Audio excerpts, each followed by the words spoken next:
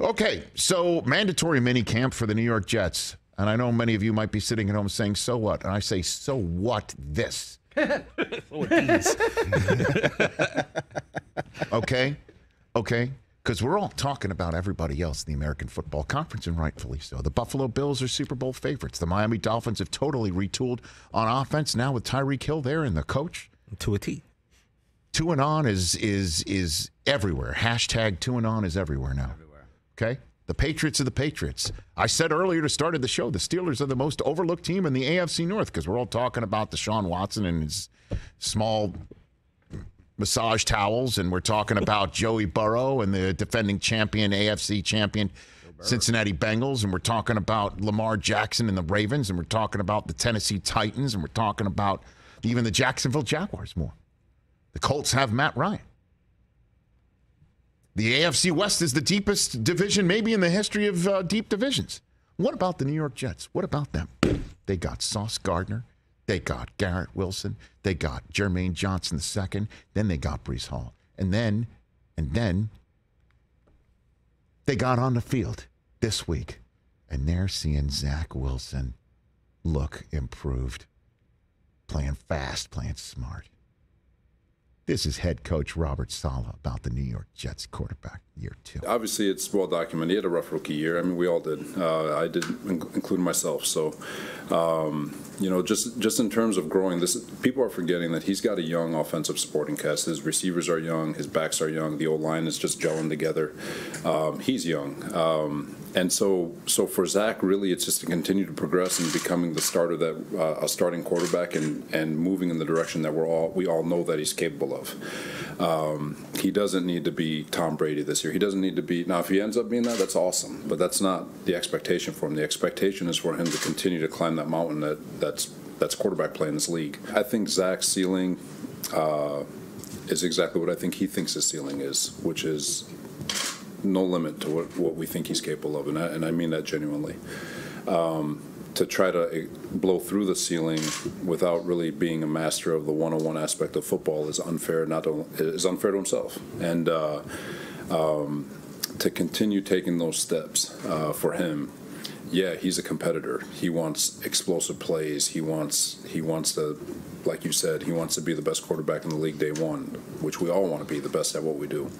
Um, but it's not about, for him, it's not about being the best today. It's about being your best today. And whatever your best is today, trust that it's good enough and that you'll be, con- uh, you can grow into whatever your best, your maximum, your, your, your whatever you are to maximize. And, um, and, and I do, I, I believe it's going to be special, but just got to continue growing. Coach has graduated from play boring to a lot more of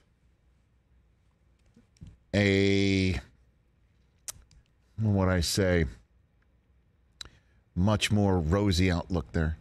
That's better than play boring. Remember last year's play boring? My God, just get rid of the football. My God, just just get it out.